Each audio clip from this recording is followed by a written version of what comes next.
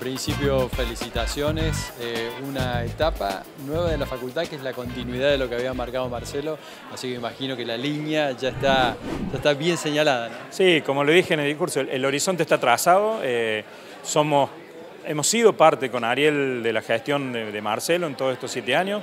Eh, entonces, muchas de las cosas que, se han ejecutado también hemos sido de alguna manera partícipes y obviamente que vamos a seguir en esa línea hay cuestiones que como que están en nuestro ADN, ¿no? Eh, el tema de la vinculación público-privada, la solidaridad de la facultad a, la disposición de la sociedad, la excelencia académica, la inclusión, pero la inclusión real, no la retórica. ¿no?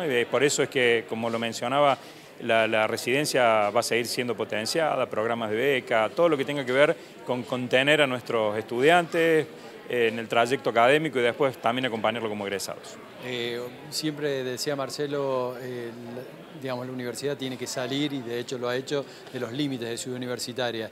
Eh, y la facultad ha sido como la punta de lanza de la universidad, con lo cual el desafío me imagino que debe ser muy importante en este sentido. Eh, por supuesto, ya lo dice también nuestro rector, ¿no?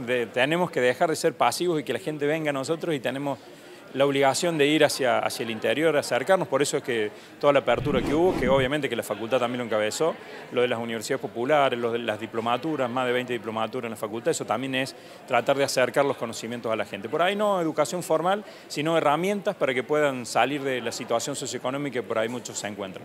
Una universidad, una facultad pensada para todos en definitiva. Es, es eso, somos una universidad pública que nos sostiene la sociedad, entonces no podemos mirar al costado, mirar para atrás. Tenemos que estar eh, de alguna u otra manera llevando alguna solución a la gente que, todo, el día, todo el tiempo contribuye para que nos sostenga.